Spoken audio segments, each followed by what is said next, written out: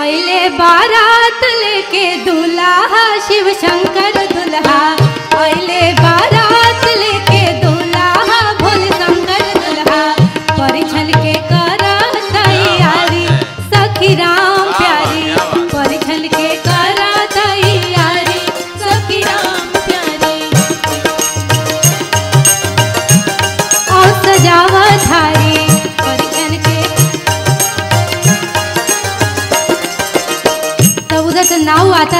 कहता है कि ढेर एक्साइटेड मत होकर देखी के दूल्हा बेहोश हो जाई हो। देखी के दूल्हा बेहोश हो जाई हो। हाथ से फेंका जाई थारी, सुन राम प्यारी। हाथ से फेंका जाई थारी, सुन राम प्यारी। नगवा जसा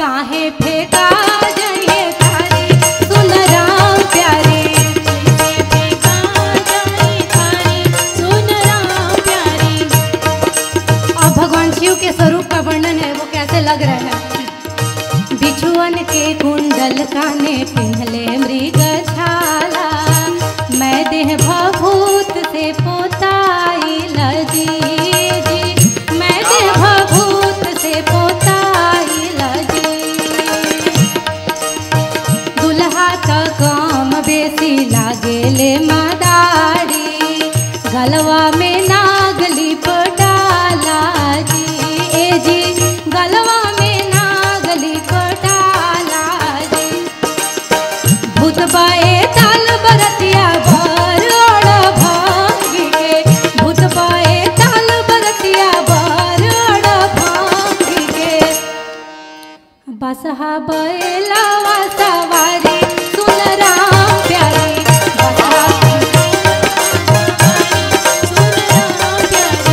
बर बाबू हमें अध का पारी, सुन राम प्यारी।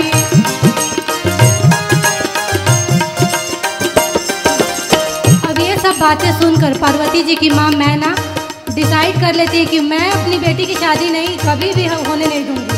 और कहती है कि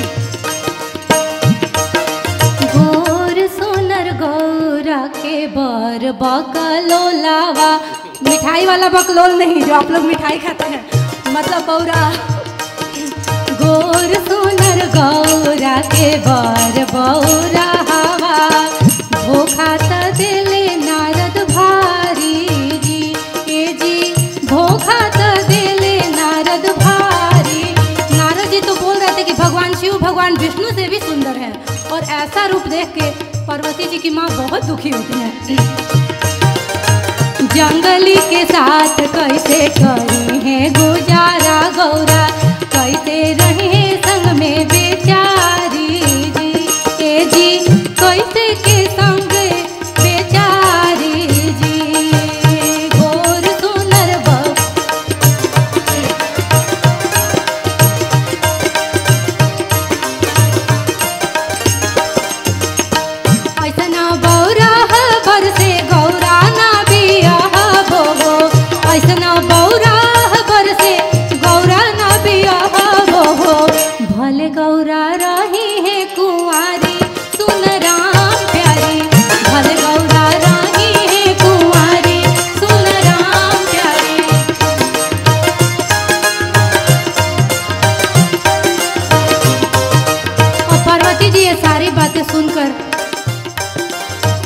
मंडप के नि- पास कलश के पास अपना सिर झुका के और भगवान शिव से प्रार्थना करने लगती कि प्रभु, अपना निर्गुण, निराकार रूप छोड़िए और सगुण, साकार और सुंदर रूप धारण कीजिए। माई, कलश के ओते ओते मतलब कलश की ओट में, कलश के ओते ओते, गौरा विनती करे शिव जी से अरज